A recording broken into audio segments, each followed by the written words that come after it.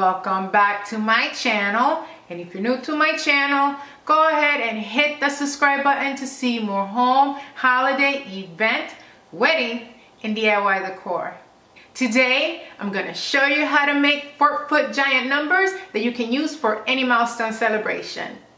Here we go.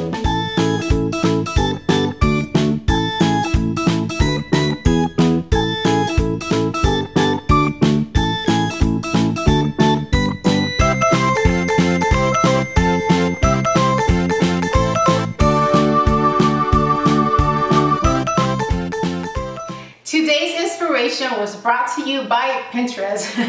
Once again, Pinterest has done it. Um, I fell in love with the idea of this um, uh, four foot, I think it was four foot. It could have been bigger or shorter. To me, it was four feet. And um, that's why I'm making mine four feet. Uh, so yeah, it was a four feet um, acrylic and balloon giant number and oh my gosh it was so beautiful it was for a first birthday party of a boy and oh my gosh so pretty. Anyway, acrylic can be very expensive, so I decided to make mine out of foam board where you can get the same effect and the same beautifulness for your next birthday party or even for an anniversary. So let's get started. All right guys, so this is what I'm using to guide myself to make my four foot giant numbers. I got this image from Google. Uh, by Googling or by searching four foot giant numbers, I actually got the number 21, but I decided that I'm only going to make one number because I know it's going to be time consuming, especially with it being so large. Um, and I'm also going to be making it a little bit different. I'm not going to be using the back panel. I'm only going to be using the outer panels and I'm going to be filling it with balloons. I just wanted to make it a little different from my giant letters. Uh, if you haven't seen that video, I'm going to attach it at the end of this video so you can take a look at it and learn how to make letters. And I'm also using this envelope where I drew out uh, these sizes that I thought would be proportioned to make my four foot um, giant number. So yeah. Okay, so there are 10 sides to this number one. One, two, three, four, five, six, seven, eight, nine, and 10. I'm going to be cutting all these sides first before putting it together. And I'm going to start with the bottom panel. And that's going to be two feet by one feet.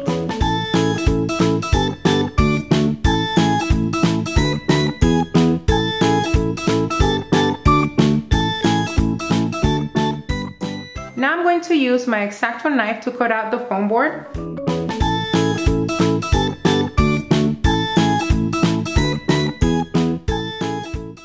Next, I'm going to be making these two side panels and I'm going to be making them one foot by one foot. Now I'm going to be making the smaller panels here, these two right here, and this one right here at the bottom. I'm going to be making them six inches by 12 inches. So six inches by one foot. Next, I'm going to be making this tall panel right here on the left side. I'm going to make it two and a half feet tall and one feet wide, okay? So two and a half by one foot. I'm going to make this one right here, the nose. I'm going to make it 10 inches by one foot. For the top of the number one, this part right here and the one right on top. For my tallest panel, which is this one on the right, I'm going to make it three feet. And since I do not have a foam board that's three feet tall, I'm gonna have to put these together. And what I'm going to do is hot glue them together, then tape them with transparent tape.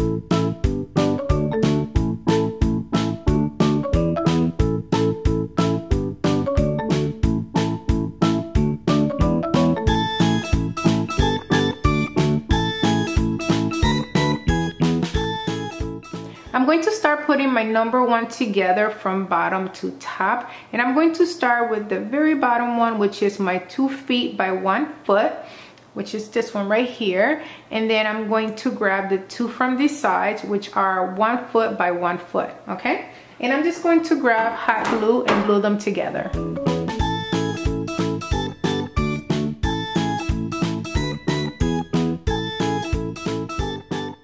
Now I'm going to secure with a little bit of hot glue inside.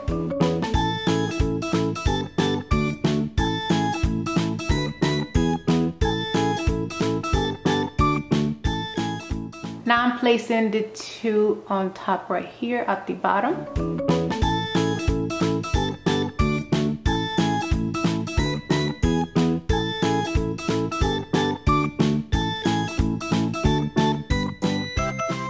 Okay, so I'm going to put the bottom to the side for a bit and I'm moving on to the top. Okay, so I'm going to construct this area here.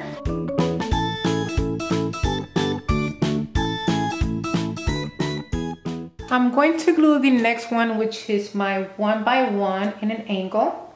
So it's going to look something like this.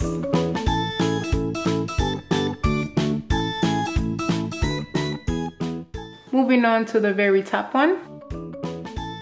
Now I'm going to start gluing on the floor and I'm going to be gluing the panels from the middle. I'm going to start with my two and a half and then I'm going to move on to my three and a half.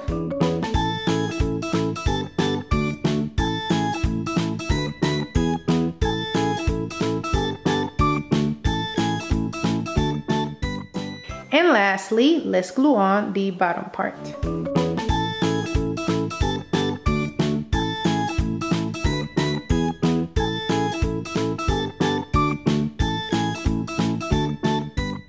If your number one is still a little wobbly after applying glue in the inside, go ahead and apply glue to the outside where the panels connect, but make sure that you add it very neatly. Now we're gonna move on to the balloons. And as you can see right here is, you know, coming in a little, but don't worry about it. Once you place the balloon, that's gonna come up a little more and it's going to look amazing. I'm going to be using nine inch purple balloons, lilac, and white. You can also use 5 inch balloons. I'm using this one because you can blow them up into 5 inches and up to 9. Uh, as far as the 5 inches, you cannot blow them up any bigger. And I thought that the space down there actually measured it and it will be better with the 9 inches, okay? And I got these from Party City. And here I have one balloon. This is pretty much the size that I'm going to be blowing all of them up and this is probably about seven inches. And I'm just going to go ahead and blow all of the balloons that I have. Well not all of them maybe half of them that I have in each bag. And I'm just going to randomly place them all inside the number one. You may need or may not need to use hot glue. Um, so pretty much use it to your discretion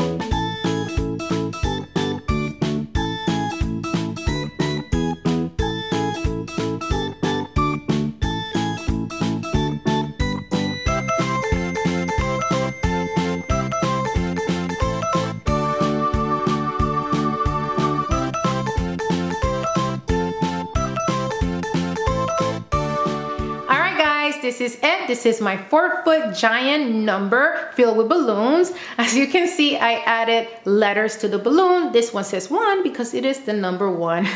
um, this is definitely great for your child's first birthday or for any milestone celebration. All you have to do is add the extra number. You can also use this for anniversaries or for work anniversaries as well. This is amazing. I truly, truly love it. If you like this video, make sure to give me a thumbs up. Make sure to comment and let me know what you thought of my giant number filled with balloons. And let me know in the comments below also if you have any requests. If you are an event planner, let me know what's on your wish list and maybe you'll see it next time I make a video. Also, make sure to share, share, share. Sharing is caring. If you know of a friend or a family member that's going to have a birthday party soon, anniversary or work anniversary, make sure to share it with them at the end of this video. All right, guys, until next time, bye.